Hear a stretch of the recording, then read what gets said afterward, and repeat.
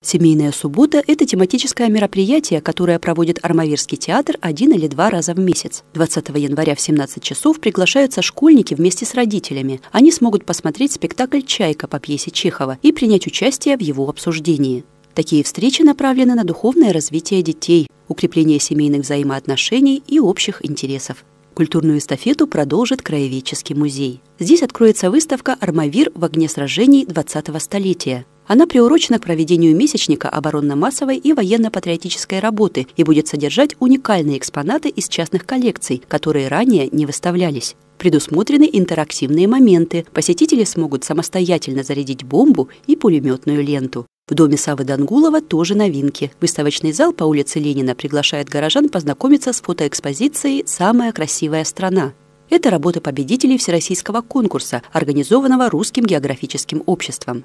Интереснейшие снимки природы, животных со всех уголков России позволят зрителям совершить фотопутешествие по своей родине. А в зале дома Дангулова на улице Свердлова работает выставка «Жизнь после людей». Автор – краснодарский фотохудожник Юрий Будильников. Он осветил тему экологии и показал, как деятельность человека может навредить окружающей среде. Дворец культуры ждет горожан 23 января в 11 часов. Состоится торжественное открытие месячника оборонно-массовой и военно-патриотической работы. В этом году он приурочен к 75-летию освобождения края от фашистских захватчиков и будет особенно интересным. Армавирцам вручат символическое знамя Победы и книгу памяти. А 25 января в 14.00 для студентов откроется литературная гостиная «Татьянин день». Состоится разговор о поэзии. Молодежь города сможет принять участие в автопробеге «Знамя Победы». Он посвящен юбилею освобождения края от фашистов. Начало в 10 часов. Участники объедут все микрорайоны Армавира. По окончании автопробега состоится единый день возложения цветов у мемориалов и обелисков вместе с представителями школ, вузов и техникумов.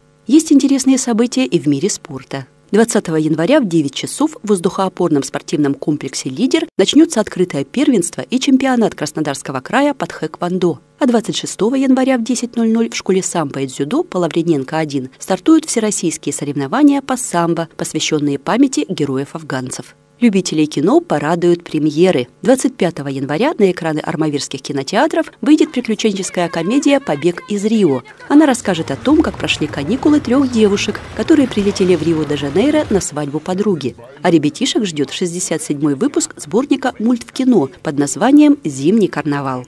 Не забывайте регулярно посещать наш сайт городармавир.ру, следите за обновлениями рубрики «Афиша», и вы всегда будете в курсе самых интересных событий. Влада Волошина, Артур Карджанян, служба информации телеканала РЕН-ТВ «Армавир».